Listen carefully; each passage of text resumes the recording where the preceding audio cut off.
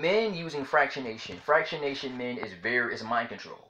It's able to get you the life that you want, able to attract women, able to get women to respect you, like you, getting even women who are rude to respect you. Fractionation is storytelling. You're able to tell her amazing stories about your life. You're able to convince her to take, you know, to able to, you know, get her to fall like a, it's like a, um, within 10 minutes, this works within 10, 15 minutes is where, where men usually go into the bar and then like it, 10 minutes later you're out the bar with her. She's holding your hand. She's kissing you. I've seen guys like this. I've seen guys who just stand around and, and they t- approach a woman.